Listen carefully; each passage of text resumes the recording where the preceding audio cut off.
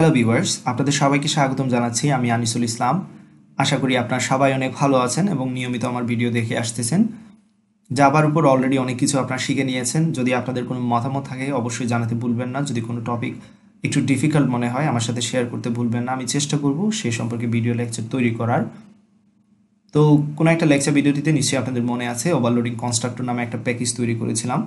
এবং সেখানে দুইটা ক্লাসও তৈরি করেছিলাম ওভারলোডিং কনস্ট্রাক্টর টেস্ট এবং টিচার নামে। তো সেই দুটো ক্লাস আমি ওপেন করে নিলাম। এই ভিডিও টিউটোরিয়ালে আমি আপনাদের সামনে তুলে ধরবো কনস্ট্রাক্টর এবং মেথডের মধ্যে পার্থক্য কী, সেই সম্পর্কে আমি একটু আলোচনা করার চেষ্টা করব। যদিও অলরেডি আপনারা জানেন যে কনস্ট্রাক্টর এবং মেথডের মধ্যে কী কী পার্থক্য বাট একটু ডিটেলসলি জিনিসগুলো আলোচনা করব ওকে কনস্ট্রাক্টর এখানে দেখতে পাচ্ছেন তিনটি কনস্ট্রাক্টর এবং একটি মেথড আছে। তো যে কোনো একটা কনস্ট্রাক্টরের সাথে আমি মেথডের কম্পেয়ার করব, এতে করে আপনাদের বুঝতে সুবিধা হবে। কনস্ট্রাক্টরের নেম এক্স্যাক্টলি ক্লাসের নেম অনুযায়ী হওয়া লাগবে ওকে বাট মেথডের নেম ক্লাস অনুযায়ী ক্লাসের নেম অনুযায়ী হওয়া লাগবে না ওকে এটা একটা পার্থক্য। কনস্ট্রাক্টরে কোনো রিটার্ন টাইপ থাকে না বাট মেথডে অবশ্যই রিটার্ন টাইপ দিতে হয়। কোনো কিছু রিটার্ন না করলে অ্যাটলিস্ট বয়েড আপনাকে দিতেই হবে। দুইটা পার্থক্য পেলাম। থার্ড পার্থক্য হচ্ছে, লক্ষ্য রাখবেন কনস্ট্রাক্টরকে কিন্তু আমরা এখান থেকে কল দেওয়ার প্রয়োজন হয় নাই ওকে কনস্ট্রাক্টরকে কল দেওয়ার কোনো প্রয়োজন হয় নাই। জিনিসটা একটু লক্ষ্য রাখবেন কনস্ট্রাক্টরকে কল দেওয়ার কোনো প্রয়োজন হয় নাই। আমরা কনস্ট্রাক্টরকে কোথাও কল দেই নাই। কনস্ট্রাক্টর যদিও একটা method special type of method but তাকে কল দেওয়ার প্রয়োজন হয় নাই। বাট ডিসপ্লে ইনফরমেশন এই মেথডটাকে কিন্তু আমাদের কল দিতে হয়েছে। সুতরাং কনস্ট্রাক্টরকে কল দেওয়ার প্রয়োজন নেই।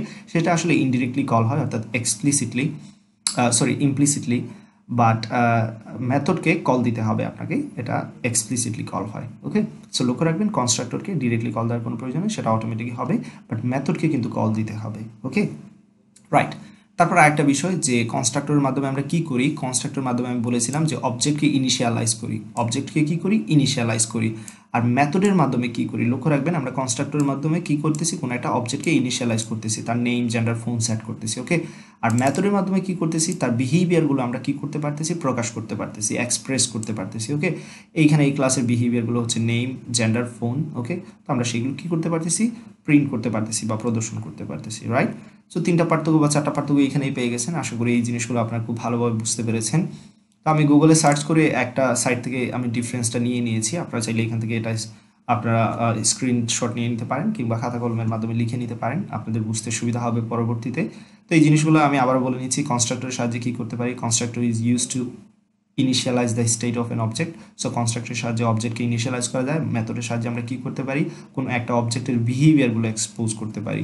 Constructor must not have return type constructor কোনো রিটার্ন টাইপ দরকার নাই বাট মেথডের অবশ্যই রিটার্ন টাইপ দিতে হবে।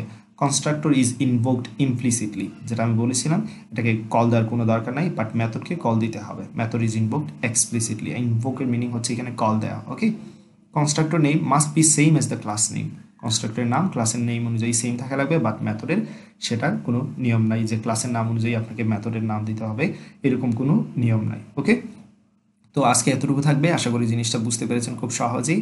প্রায় সময় দেখা যায় এক্সামে এই কোয়েশ্চেনটা থাকে যে ডিফারেন্স বিটুইন কনস্ট্রাক্টর অ্যান্ড ম্যাথডের ডিফারেন্স লেখার জন্য। আশা করি এটা আপনাদের প্রবলেম হবে না ইনশাল্লাহ ভালো থাকুন, সুস্থ থাকুন। আল্লাহ হাফিজ।